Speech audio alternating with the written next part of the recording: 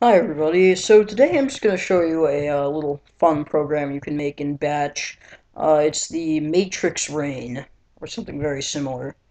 So it's the long streams of uh, random numbers flowing down the screen. So just open up a document, and we're going to start at echo off.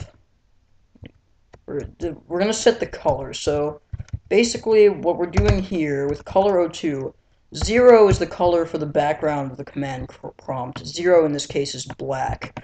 Um, and two is green, and that's the color of the text. I'll put a full list of um, color settings for background and text and CMD below in the description. And so let's have our first location. And it's really simple. Pretty much all we're going to do is um, just have a lot of randoms. We're going to type random, copy that, put it down a couple of times.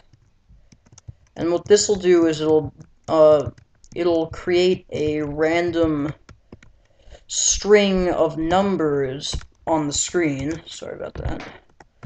And it'll float, and now if we do go to start, it'll flow down. Alright, and now we'll just save this as matrix.bat.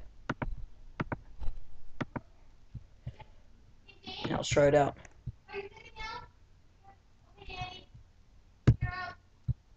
Now, as you can see, we've got the matrix.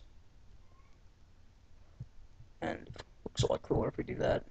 Alright, well, Thank you for watching, and more code tutorials coming in the future.